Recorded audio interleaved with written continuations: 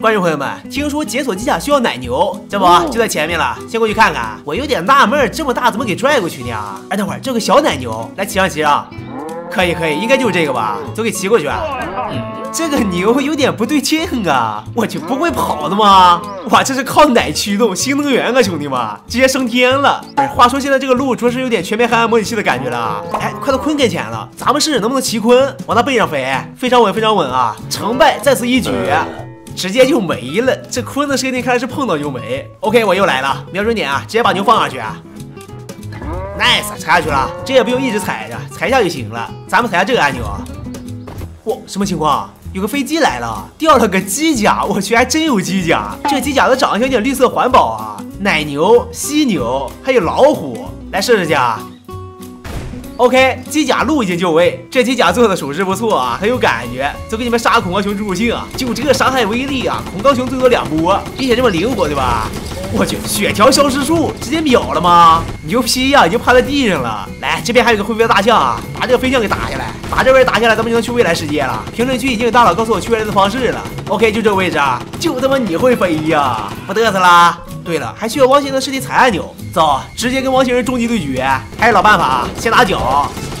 OK，哎我操直接趴我身上了，打胳膊打胳膊，不行，时间不太够。这个机甲还有个小技能啊，左右闪避。哎，这下汪星的伸胳膊抓更好躲了。继续打脚，我操！你们看这伤害，小羊瞬间没，然后是胳膊。OK 了，胳膊也翻过来了，接下来等他趴下。来来，我就让你抓，我不信你能直接给我抓死啊！就这才掉了一格血，那我感觉我都不用躲的。咱们是直接飞起来踩胳膊，我这机甲的操作已经很熟练了啊！可以踩中一个，一只胳膊掉下来了，接下来准备踩第二个，这小柯基又要出手了，可以直接送过来了，就不踩到你头上欺负你，哎，刺激！散架了，现在就剩下一个小柯基了，在哪呢？墙上转圈呢，直接秒杀！走，把小柯基拿起来。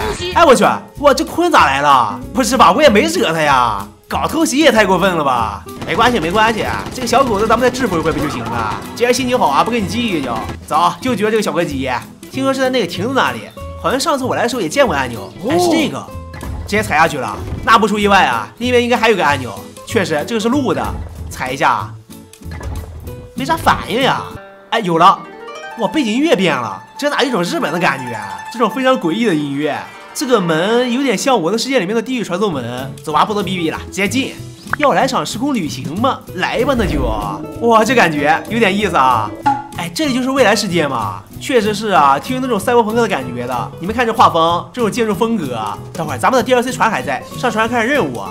就这个，打败未来迷你恐高熊。今天至少要完成这个小目标啊！先把船上的装备装一下。这个黄金枪，我去忘了，电锯会引起龙卷风的。不慌，咱们先变成熊，溜一手。手里没有武器，打这玩意不好打，先去找找武器去。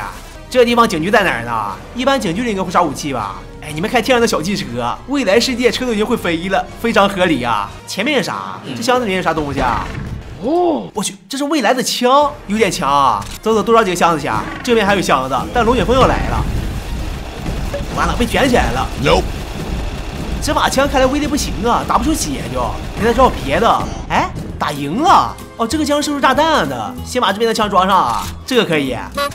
我去我去，越来越离谱了啊，兄弟们！再来个自我介绍，大家好啊，我是一只非常普通的鹿啊。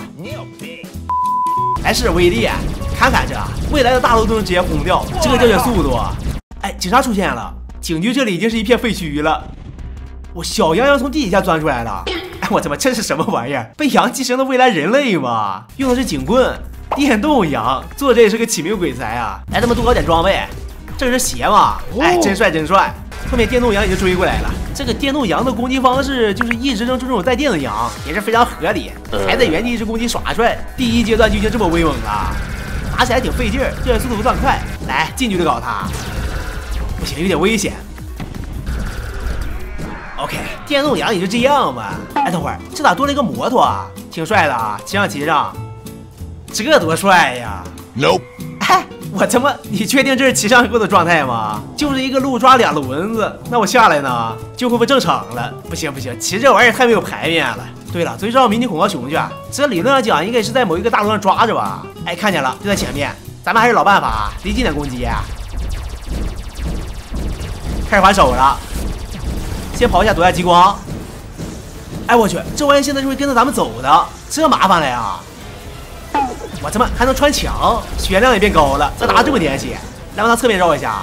哎呀，不行，这个恐高熊的移动速度比我想象中的快多了。OK，我又来了，这次的装备更加豪华，看见没？还多了飞行设备。来吧，恐高熊，我准备好了。哎，不是，这次的武器好像不强，没关系，你们看，这次咱们是会飞的，这样的话躲避的空间也就大多了，对不对？我直接飞这么高，哎，这就舒服了，激光根本追不上了就，然后回到地面。不行，武器确实是差的，感觉没有机关枪啥的，根本就打不出伤害。A few moments later，哎，观众朋友们，我发现这玩意有个弱点啊，等他放激光的时候，先跑一跑，不能跟他对刚，就等他换弹或者休息的时候再返回去揍他。就现在，能打多少是多少啊！然后咱们继续跑，连续来了这么几回，你们看，现在就剩下这么点血了，再等最后一波，找下这个狂枪正在藏着呢。Nice，终于把他干掉了。